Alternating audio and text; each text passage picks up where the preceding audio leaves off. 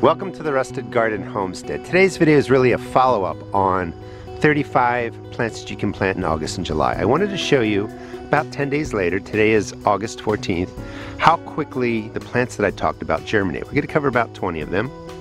I want to start out with bush beans, four of them right in here, and spinach, which is shielded with this foil tray to give it some shade, keep the soil cooler. These are put in on August 4th.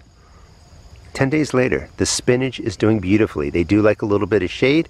I will link the video in that shows you how to build this, but it's basically just a cover over your container. You can use that for the ground. Bush beans look really good, 10 days of growth. They germinate really quickly, and sometimes the seeds might struggle. That guy's a little bit small, but basically, you know, what is that, a good four inches, five inches of growth in 10 days. All right, and we're gonna just pop around um, to plant variety to plant variety. The peas look good. These are put in on August 4th, and everything that you see here was probably planted August 4th, 5th, and 6th.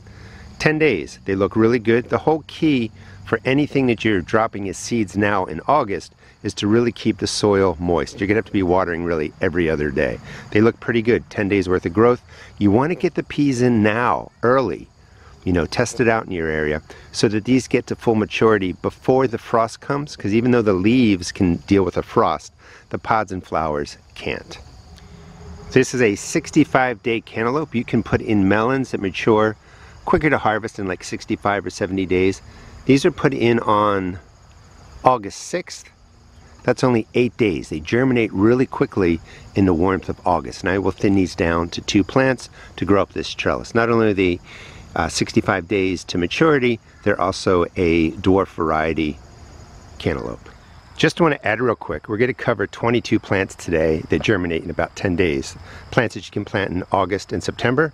Check out the iCards end screen and video description for the original video of 35 plants you can plant August, September. And also check out my blog, The Rusted Garden Journal. It has a complete list of all the plants that I've planted in August. We have three varieties here. Part of what happens with August is that it's really warm. So the cool weather crops, we have radishes, romaine lettuce, pak choi back there. These are daikon radishes. These are put in on 8-6, also 8 days worth of growth, absolutely beautiful. Sometimes they accelerate the growth, like the pak choi back there is really tall. It might be a little bit early for them. Again, today is August 14th, so you want to experiment a little bit put some in, you know, beginning of August, middle of August, end of August, and that will help you figure out the sweet spot for planting your cool weather crops. Radishes look great. You know, eight days, they already look like that. The romaine lettuce is coming up. That'll be thinned down to one or two plants, and the pak choi will also be thinned down.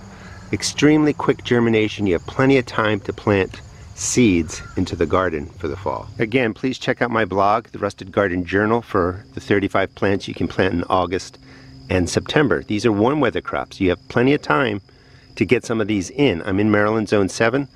Three seeds went in. I'm going to thin this down to the strongest. You can do that now. And these went in on August 4th. So 10 days, my zucchini plant is this large.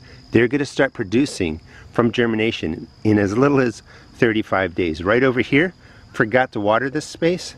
This is red cabbage. The red cabbage went in also on, whoop, on August 6th, and that's already germinated. Cool weather crop may not get full-size heads of the red acre cabbage, but I can eat the leaves, and I have the plants in here. You can see they've already germinated. Collards and kale are great cool weather crops.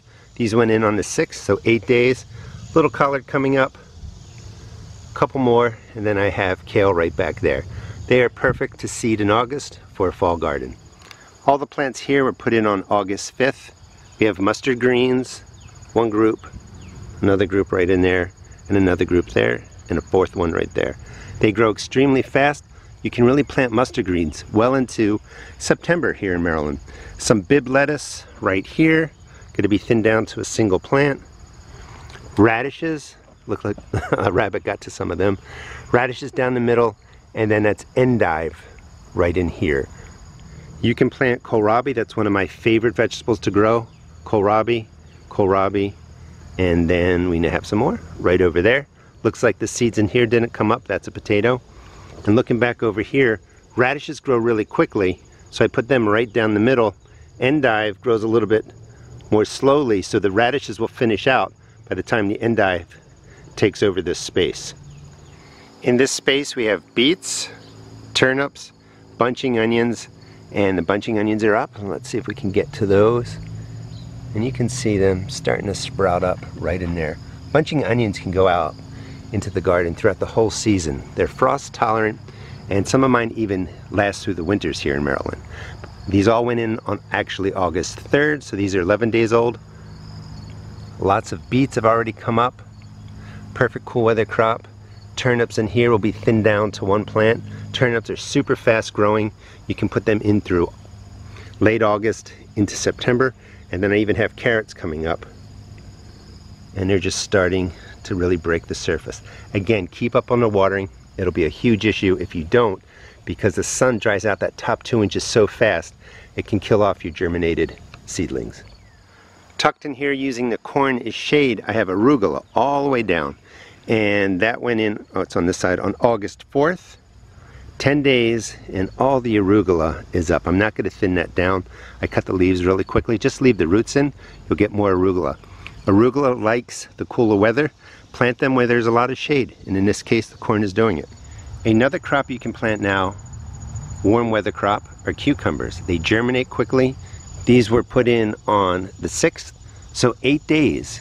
These will be thinned down to two plants. They will go up my cattle panel.